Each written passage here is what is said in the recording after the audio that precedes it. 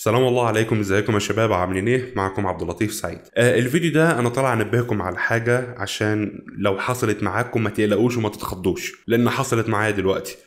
أو النهارده يعني. النهارده وأنا راجع من بره في العادة أنا كل ما برجع من بره بفتح صندوق البريد أشوف لو في أي جواب جالي أو حاجة إذا كانت فواتير أو بتاع ده الطبيعي يعني. فالنهاردة وأنا بفتح صندوق البريد ساعه ما رجعت من بره لقيت لك إن في آه الجواب ده جاي لي. الجواب ده جاي لي من جوجل من أمريكا. يعني أنا الصراحة اتخضيت لقيت لك حتى آه يعني الغلاف بتاعه بيقول لك important text return document. يعني أو يعني أوراق مهمة أو هامة متعلقة بالضرايب. فأنا صراحة قلقت يعني ده أول حاجة في وشي على طول إن ده جواب باللغة الإنجليزية وأنا مش متعود إن يجي لي يعني جوابات باللغة الإنجليزية أو أوراق باللغة الإنجليزية كله باللغة البرتغاليه مش يعني مفيش بالإنجليزي خالص. تاني حاجة جالي من أمريكا. فطبعا بعد ما أنا طلعت وفتحت الجواب وكل حاجة على أساس أعرف إيه ده لقيت لك إن مضمون الجواب نفسه أو الظرف نفسه فيه ثلاث أوراق اللي هم ال copy B و copy C و copy D. طبعا أنا صراحة في البداية ما فهمتش أنا ما فهمتش إيه ده, لحد ما أنا قعدت بقى وقريت وكل حاجة وبحثت كمان عشان افهم إيه ده اكتشفت ان هم بعتوا لي نسخة من الملف الضريبي اللي إحنا عملناه لو تتذكروا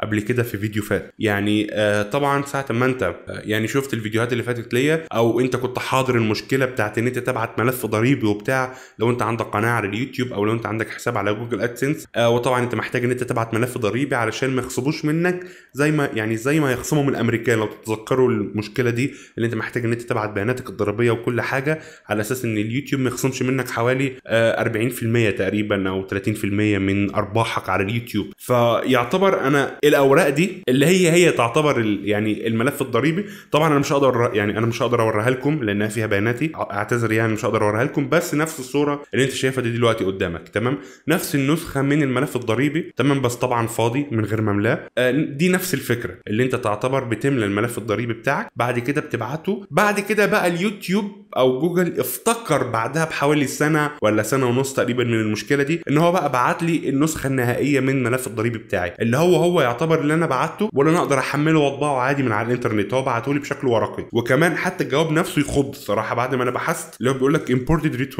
يعني أنت محتاج إن أنت تعيده أو إن أنت يعني تملى البيانات وتعيدها مرة ثانية فبعد ما بحثت لقيت إن أنت مش محتاج إن أنت تملى أي بيانات. الموضوع ممكن يكون ملخبط شوية بالنسبة لكم بس هي دي الفكرة يعني إن لو جالك جواب من جوجل ما تقلقش.